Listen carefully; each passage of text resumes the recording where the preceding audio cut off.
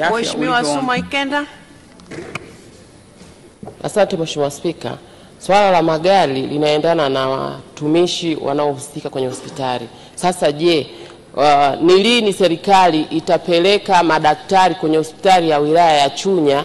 Maana ina madaktari wawili hospitali nzima, mahitaji ni madaktari nane. Asante. Mheshimiwa Naibu Waziri, majibu. Mheshimiwa Spika, naomba nimhakikishie Mheshimiwa mbunge kwamba serikali imekuwa ikitoa vibali vya ajira kwa ajili ya watumishi kuajiri watumishi katika kada ya afya.